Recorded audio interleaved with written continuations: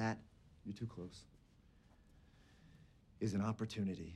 Okay, you're saying that at eight percent, the bonds fail, and we are already at four percent? That's right. If they go to eight, it's Armageddon. Yeah, that's right. How come nobody's talking about this? You're completely sure of the math. Look at him. That's my quant. You're what? My quantitative. My math specialist. Look at him. You notice anything different about him? Look at his face. That's pretty racist. Look at his eyes. I'll give you a hint. His name's Yang. He won a national math competition in China. He doesn't even speak English. Yeah, I'm sure of the math.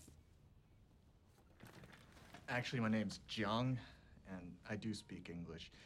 Jared likes to say I don't because he thinks it makes me seem more authentic. And I got second in that national math competition. So you're offering us a chance to short